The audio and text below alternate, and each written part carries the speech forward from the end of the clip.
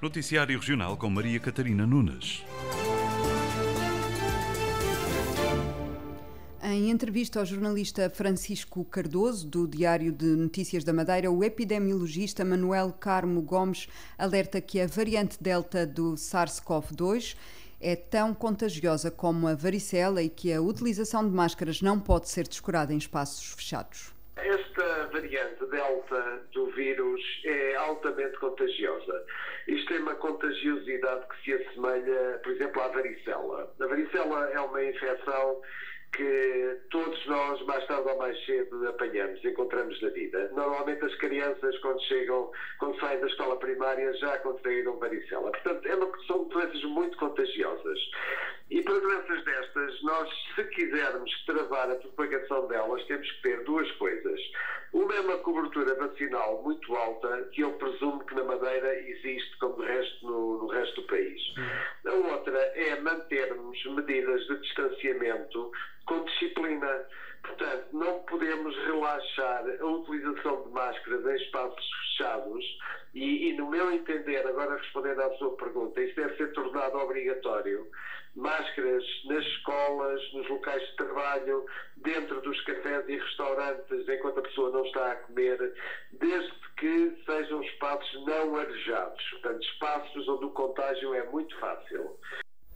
O epidemiologista defende que a lotação deve ser limitada muito abaixo do máximo também em eventos culturais e em eventos desportivos, independentemente de serem ao ar livre. Manuel Carmo Gomes não defende a utilização de máscaras ao ar livre, a menos que o distanciamento físico esteja comprometido e afasta todas as medidas que possam interferir com a economia regional.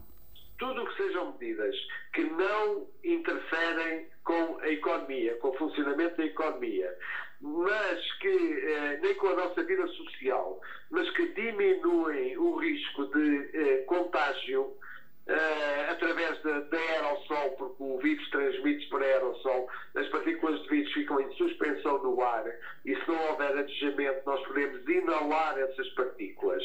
Ora bem, tudo o que sejam medidas que não interfiram com a economia e que evitem esse tipo de, de inalação e, portanto, de contágio, eu acho que devem ser promovidas. E, por exemplo, coisas como o teletrabalho, as pessoas que podem estar em teletrabalho sem que isso prejudique o funcionamento da empresa, eu acho que devem estar em teletrabalho. Declarações de Manuel Carmo Gomes, epidemiologista, sobre que medidas defende para conter a pandemia na Madeira. Esta tarde, Miguel Albuquerque anuncia à região novas medidas restritivas para travar o aumento de casos. Para já, recusou adiantar pormenores. Covid, às 5 horas da tarde, será tudo anunciado. São medidas para tentar salvar o Natal de fim de ano? São medidas para salvar a saúde pública dos madeirenses e, eh, obviamente, salvar eh, as pessoas poderem continuar a fazer a sua vivência normal, terem a sua vivência normal durante a época das festas, porque não é só o Natal e o fim do ano. As festas da Madeira, felizmente, continuam por janeiro fora até, o, até aos rãs. A restrição aos interiores dos restaurantes podem estar... Eh, Vamos tratar de tudo às 5 horas. Hoje já tive uma reunião com a saúde de manhã, está tudo a correr bem, vamos anunciar as medidas e as medidas espero que sejam cumpridas, que vai ser uma forma de nós prevenirmos esta situação. Mas às 5 horas está tudo explicado. É, o, é, PEI anunciar hoje invalida que no final do mês possa anunciar novas medidas, como vinha referindo anteriormente? Não, não, não. Uh, há uma delas que eu já posso dizer, uh, a noite do mercado, só vamos decidir no fim do mês. Agora vamos tentar já tomar as medidas para conter a expansão da, da pandemia. Sr. Presidente, a questão de, do teste antigênio uh, mantém-se na, na, região... Às 5 horas, às 5 horas está tudo anunciado, não se preocupe com isso, mas, já se tudo anunciado. Mas admite ampliar, em vez de ter dois testes por mês, ampliar... Já vai ser dado na conferência de imprensa, isso está tudo já contemplado. Já estudei isso tudo eh, desde as 8 da manhã, já tive reuniões, já telefone, já tenho tudo, já falei com os serviços todos. Eu estou a ter especialista em Covid agora. Sr. Presidente, só uma questão, já que está especialista, já estudou tudo? Não, especialista, é, mas com devido à humildade, não é? Eu não sou daqueles especialistas que passam a vida na televisão e depois sai tudo errado. Miguel Albuquerque respondeu à questão do jornalista do Diário, Orlando Drummond, e revelou que cerca de 60% dos internados com Covid-19 nos cuidados intensivos do hospital não estão vacinados. Os óbitos recentes cá na região, algum que tenha, desses óbitos, que tenha levado a vacina de reforço? Uh, Vou-vos dizer algo que é muito importante. 58, entre 58% e 60% das pessoas que uh, estão nos cuidados intensivos ao longo destas semanas são pessoas não vacinadas. Uh, e essas pessoas, normalmente, não vacinadas, não têm patologias associadas, ou seja, morrem, quando morrem, morrem por causa do Covid. Morrem por causa do Covid, da doença contraíram. Algumas das pessoas, a maioria das pessoas que, entraram na unidade de cuidados intensivos e que infelizmente faleceram vacinadas, não morreram por causa do Covid. Morreram com Covid, mas com patologias associadas a outras doenças. Portanto, isso é a diferença. Ou seja, pessoa não vacinada está exposta a morrer por Covid. Vacinados raramente morrem por Covid e normalmente morrem devido a circunstâncias com o Covid, mas devido a patologias, a doenças que causam a morte e não propriamente ao Covid. Mas não respondeu em concreto à minha questão. Diga, diga. Com a terceira dose, com a dose de reforço, alguém hospitalizado ou que tenha tido morte? Não lhe posso dizer neste momento, mas penso que não, não sei. Eh, não lhe posso dizer. A morte pode existir, a terceira vacinado, mas eh, no fundo aí estamos a falar, claro. Eh, com patologias associadas. Agora, uma pessoa, o que tem acontecido é quem morre por Covid ou fica gravemente afetados na sua saúde são os não vacinados. Para já fica o esclarecimento de que decisões sobre as atividades na quadra de Natal, como realização ou não de eventos como a Noite do Mercado, só serão decididas no final deste mês de novembro. Declarações de Miguel Albuquerque esta manhã à margem da visita à empresa OK Motorsport unipessoal sediada no Caniço. A Madeira registrou ontem 67 casos de Covid-19 e 38 recuperados. Destes 67 novos casos, apenas 4 são importados. Os restantes 63 são casos de transmissão local. A Madeira soma agora então 436 casos ativos, dos quais 37 são casos importados e 399 são casos de transmissão local. Quanto ao isolamento dos doentes, 37 pessoas estão internadas no Hospital Nélio Mendonça, 30 destas pessoas em unidades polivalentes e 7 na unidade de cuidados intensivos dedicada à Covid-19. Outras 54 pessoas cumprem isolamento numa unidade hoteleira dedicada e as restantes estão em alojamento próprio.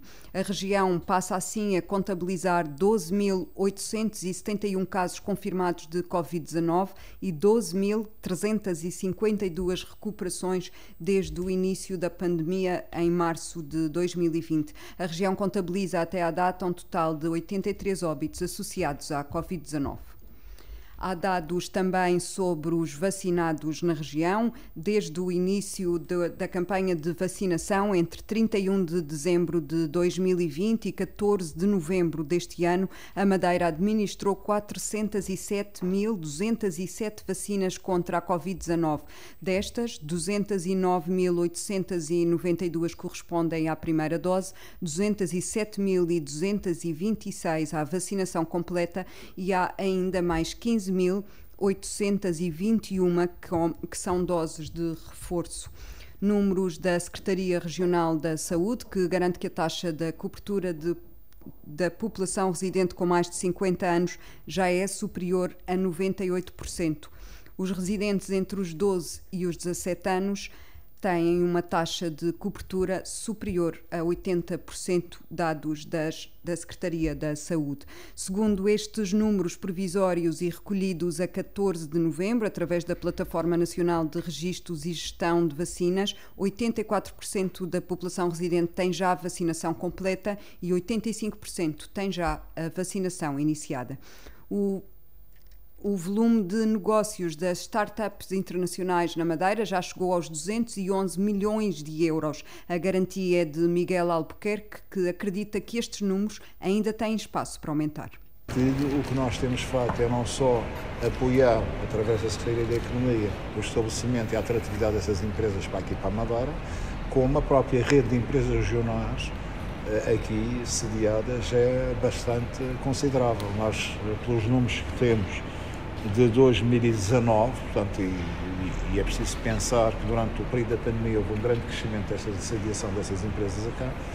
uh, o volume de negócio já chegou aos 211 milhões de euros, estamos a falar dos números de 19, 1.498 profissionais a trabalhar cá e uh, a tendência é para cada vez este tipo de empresas uh, ser mais, o peso na economia destas empresas ser mais considerável ainda um crescimento exponencial que se deve ao facto de a Madeira ser vista como um destino seguro e que possui todas as condições para o desenvolvimento destas tecnologias, também muito impulsionada pela comunidade nómada digital que ficou na Madeira desde o início da pandemia.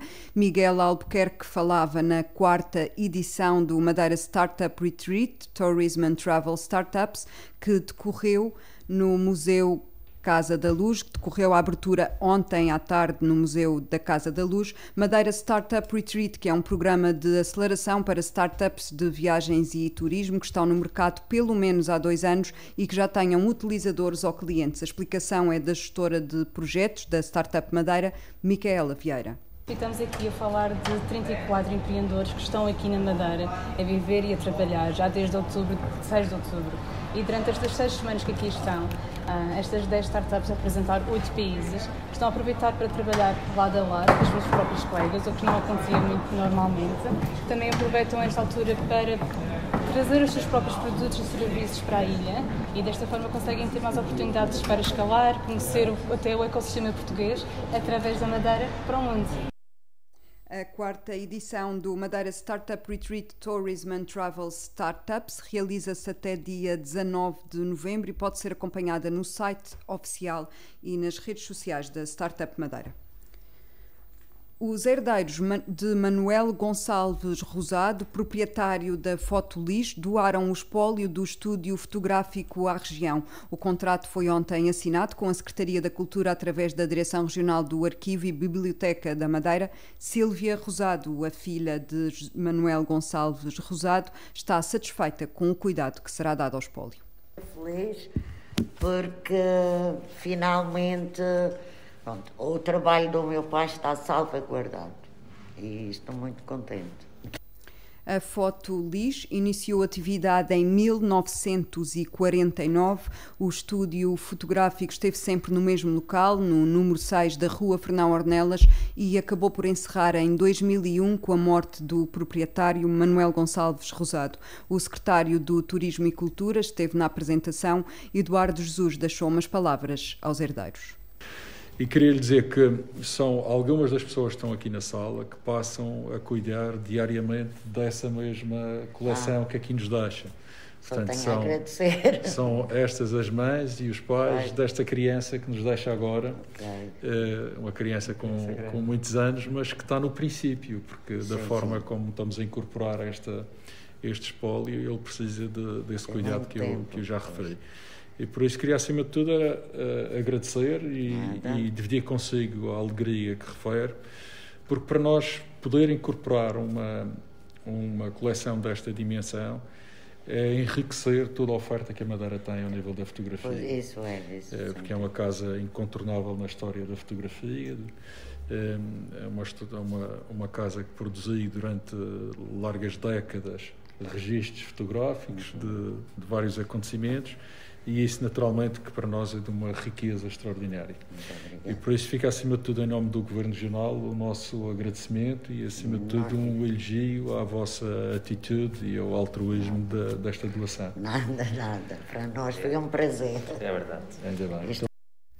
O conjunto documental agora doado contém cerca de 60 mil fotografias, 27 livros e 21 pastas. O arquivo da Foto Lis é constituído sobretudo por negativos, mas também contém provas fotográficas. O acervo inclui ainda alguma documentação de arquivo, como livros de âmbito contabilístico, além de correspondência trocada. Relativamente às fotografias disponíveis, destacam-se os tradicionais retratos de estúdio, tipo BI, as reportagens de batismos, casamentos e primeiras comunhões após o tratamento que inclui atividades de descrição, catalogação e digitalização, o arquivo ficará disponível à consulta pública pela via digital através das plataformas de pesquisa do ABM. Mais uma entrada de um acervo fotográfico importante para a região e para contar a história da região, que fica agora ao cuidado do Arquivo e Biblioteca da Madeira.